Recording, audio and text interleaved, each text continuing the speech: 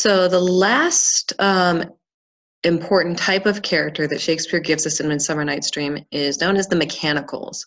Um, mechanicals are so named because they are the functional commoners. They are part of the mechanics, just the basic uh, doings of the play. Uh, the mechanicals, in this case, were hired by Philostrate to perform for Theseus at his wedding. Um, part of the comedy is that they are not professional actors. Um, they're, and they're even listed as right, Snug the Joiner, um, etc. Um, and part of the reason why Shakespeare includes that is because um, during Shakespeare's time, there weren't very many professional actors. Um, it took a lot of time and a lot of money to become part of Lord Chamberlain's men or the King's men, as they were later called. So often, when Shakespeare was trying to recruit people for his plays, he would just put um, an announcement up. He would make an offer at the local tavern, and anyone who wanted to uh, give it a shot um, would show up, and Shakespeare would do his best to find a role that they wouldn't completely ruin. So it's part of what he's um, sort of making a nod to um, with his use of the mechanicals here.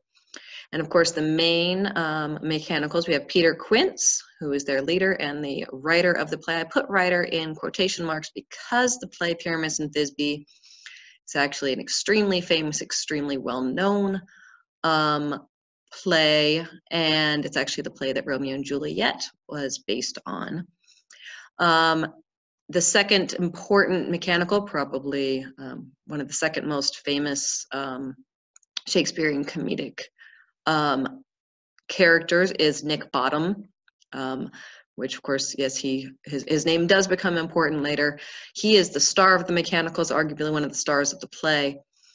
Um, he is also one of the few characters that we see um, over the course of the play crossing over um, and interacting with another um, class of character. Um, as we see the purpose of that having someone like Bottom interacting with um, either the fairies or the royals, you'll see, um, right?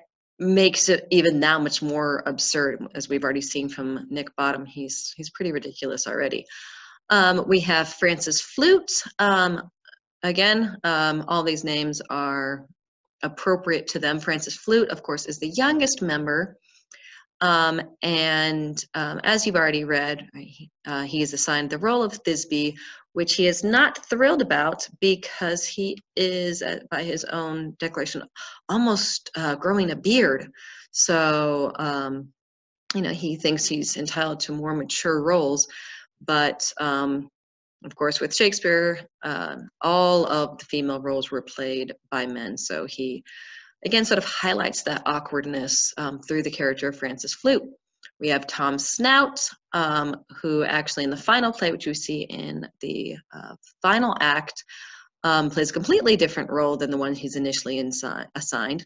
We have Snug, who's very worried that the role he's assigned might um, cause distress to the audience.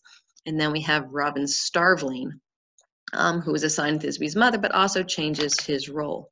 Um, and as I mentioned, um, with the exception of Bottom, who does play an important role interacting with uh, the other characters, pretty much almost all of the other um, mechanicals play a minimal role. We don't really see them until uh, closer to the end of the play because they were just there to sort of fill a spot and let us know um, what to expect with our play within a play and also of course give someone for Nick Bottom to uh, play off of.